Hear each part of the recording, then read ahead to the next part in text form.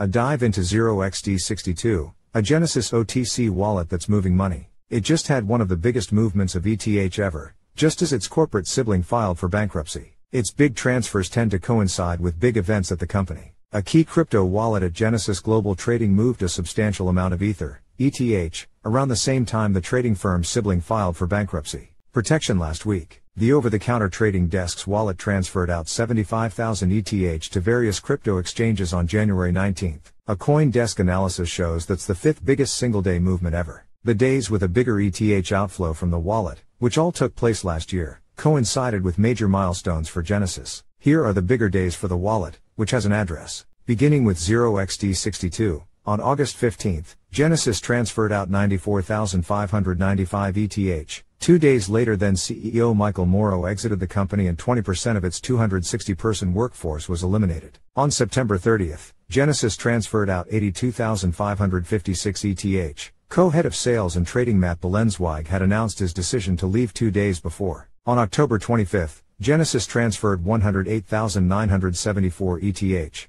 This was several days after. Chief Risk Officer Michael Patchen exited the company after only three months in the job. On November 9, Genesis transferred out 86,220 ETH. As FTX was collapsing, Digital Currency Group, the parent of both Genesis and CoinDesk, gave an equity infusion of $140 million to Genesis Global Trading two days later. In the middle of November, Genesis Lending Division, Genesis Global Capital, suspended customer redemptions and new loan originations. Last week's bankruptcy filing by Genesis Global Capital, the lending business, raised doubts about its future, but the movement of money suggests its related entity, trading firm Genesis Global Trading, continues to operate. The OTC Desk wallet continues to transact on the Ethereum blockchain as Genesis bankruptcy unfolds. Since January 21, the wallet has sent out 24,000 ETH, worth some $39 million, and received $92 million in USDC and USDT, as of press time. Genesis did not return a request for comment.